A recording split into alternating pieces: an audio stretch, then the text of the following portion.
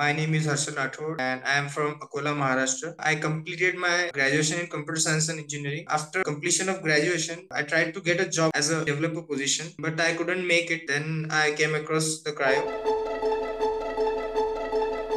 I learned how to approach any DSA problem and how to build the industry level projects and tools which are useful to make any website. I enjoyed the most is that uh, learning by doing. I noticed that I started writing code in the terms like clean code, reusability, and readability. And I started writing comments between the code to make my code more understandable and more readable. Crio projects helped me to stand out from the other profiles and improve my CV. Learning content is awesome at Crio. The future developers of Crio will get a huge amount of learning. Crio is the best platform where folks can upskill themselves and get a developer job